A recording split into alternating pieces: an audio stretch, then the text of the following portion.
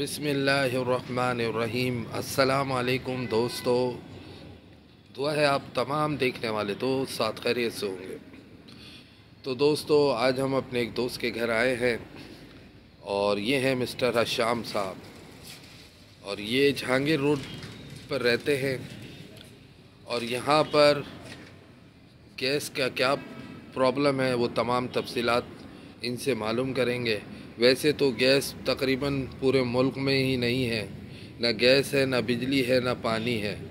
अब ये चाय बनाने के लिए इन्होंने पानी रखा है। मेरे ख्याल में चाय बना रहे हो भाई?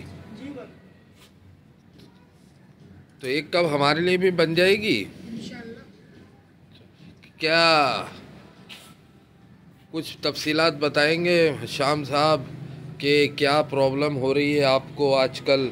गैस ना होने की वजह से ये इन्होंने ईंटों के ऊपर रख के जो है चूल्हा बनाया हुआ है, ये देखें।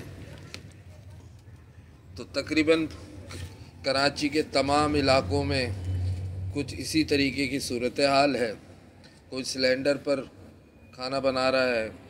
कुछ लोग सिलेंडर को ख़तरनाक समझते हैं, लिहाजा वो ये चूल्हा उन्होंने पुराने वक्तों का बनाया हुआ तो ऐसा लग रहा है कि पुराना दौर जो है वो वापस आ चुका है। तो तफसीलात मालूम करते हैं शाम साहब से। शाम साहब ज़रा बताइएगा आप तो ऑफ़िस से वापस आए और आके साथ आज आपको मेरे ख्याल में चाय की तलब लग गई। सर क्या करें ये काम लेडीज़ तो करेंगी नहीं। हम ही करेंगे। तो चाय तो वगैरह फिर हम ही बनाएँगे। तो यानी महीने से तो गैस है नहीं। बिल्कुल भी गैस नहीं है। नहीं सर। यानी कि सारा दिन ऑफ़िस में उसके बाद वापस आए कपड़े चेंज किए चाय की तलब लगी तो अब चाय ये खुद बना रहे हैं और इस तरह चाय बन रही है।